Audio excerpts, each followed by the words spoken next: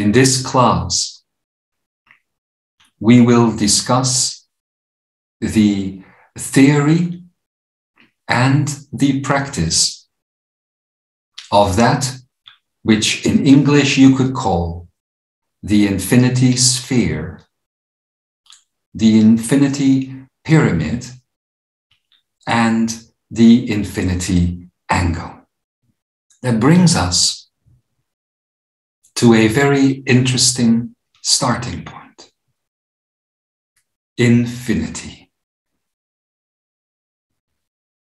What does it mean?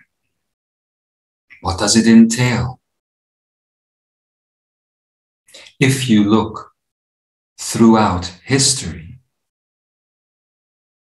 if you look into your philosophers and later on your scientists and your artists, then once again your philosophers, and now your quantum scientists. Throughout all of these ages, the concept of infinity has been explored in many a different way. But one of the most important or interesting ones with regards to our topic today starts in philosophy and was later on by Pascal taken into mathematics. And this concerns the discussion of the infinite circle or the infinite sphere, depending on whether you are talking in two or three dimensions, of course.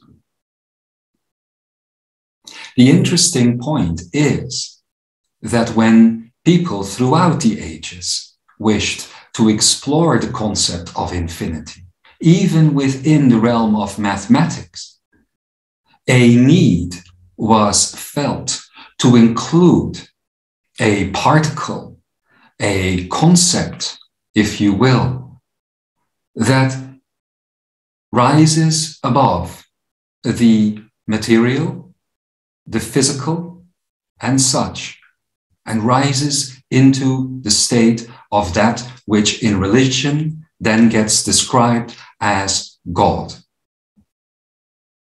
Now,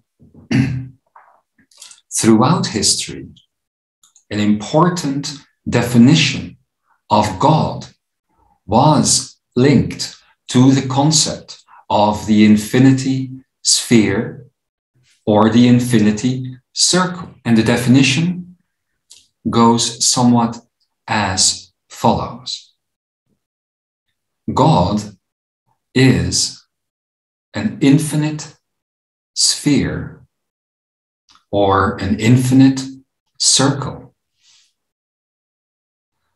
of which the center is everywhere and the circumference nowhere. Later on, the same definition would be used, and the concept of God would be replaced by infinity. In other words, infinity is an infinite sphere of which the center is everywhere and the circumference nowhere. Of course, when thinking in the mind of the world of vibration, of the world of particles. you believe a center to be at the heart of a, in this case, sphere or circle. At the heart and the circumference by default would be the edge of the circle. or in the case of the sphere, the outer skin, the outer field. And in your particle physics and your understanding of the world, the space between the center of that circle or sphere and the circumference would be known as the diameter. That diameter, the space between the center and the circumference, is a finite, limited number in particle physics and your understanding of the world. And therefore, you are dealing with finite particles, finite circles. And the concept of infinity, the God concept, turns these concepts on their head, turns them around by reducing the circumference of the sphere, and we will go into a practice of this in a while, by reducing the circumference of the sphere, as the sphere grows smaller, the center of the sphere, in itself a point, grows larger. The center, equal to the shrinking of the circumference, grows until in the center of the diameter, these both circles meet.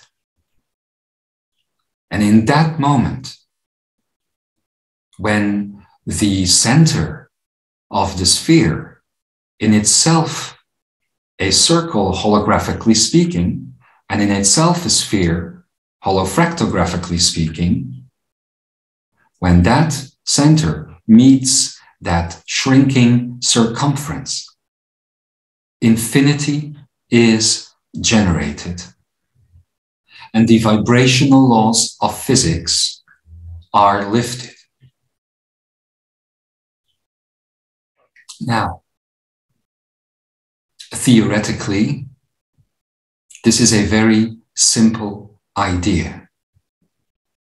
A sphere with a center point, and as the sphere shrinks, the center point grows until both meet in the middle and lift each other out of existence. The center of that sphere, therefore, is now everywhere and nowhere. And the circumference also everywhere and nowhere. The diameter has not become infinite, it has become non existent, meaningless, lifted into the chaotic spectacular. Rather than going into the detail, today at least, of what this all means. We are going to attempt to let you experience it. That is, after all, why you are here and why we come together. As I already stated at the beginning of this class, a field of consciousness has now risen in this Imzaia Merkava, in this student body, to such an extent. The practice has been practiced by you all to such an extent, and the preparedness and the openness is there to such an extent that practical exercise can begin. In order to do so, a location, a physical and metaphysical location, is about to be manifested for Imzaia, student body, here in Europe. This will be explained more in further days, but it is in this location that all of you will be invited, both in the physical and in the metaphysical, and for the time being, where needed in the digital, this way, if you will, for those of you that are spread around far, in order to facilitate these next training sessions, these next steps, where all of the things that you have prepared for can now begin to be turned into practice.